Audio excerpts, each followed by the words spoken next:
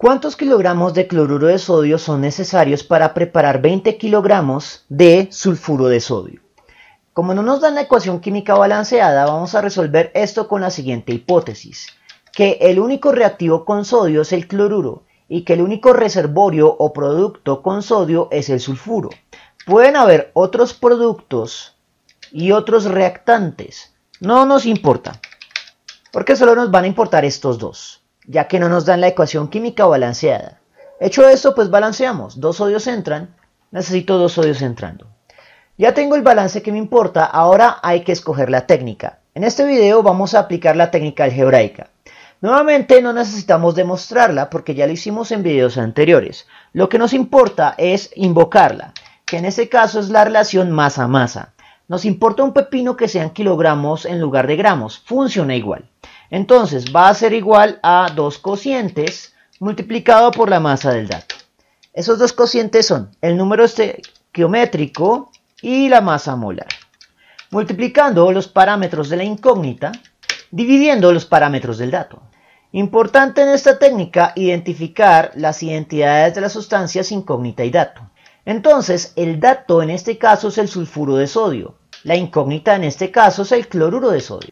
Hecho esto, comenzamos a reemplazar. La identidad de la incógnita, cloruro de sodio. Número estequiométrico de ese cloruro de sodio es un 2. Masa molar de ese cloruro de sodio hay que calcularla. 22.99 más 35.45. El resultado es de 58.44.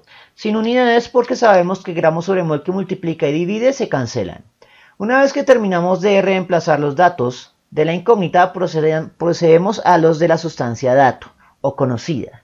El número estequiométrico del sulfuro es un 1 y la masa molar del sulfuro será 22.99, que se repite dos veces, más 32.07. El resultado dos decimales de confianza 78.05. Sin unidades porque ya las hemos cancelado implícitamente. La masa del dato son los 20 kilogramos. Kilogramo es la única unidad de entrada y por lo tanto será la única unidad de salida. Y kilogramo es la unidad en la cual nos piden hacer ese cálculo. Así que dimensionalmente tiene sentido y lo único que queda es operar los valores. Sacamos calculadora y será 2 por 58.44 por 20 sobre 78.05. El resultado de dos cifras significativas lo redondeamos a 30.0 gramo, kilogramos de cloruro de sodio. Bien, eso fue todo por el momento.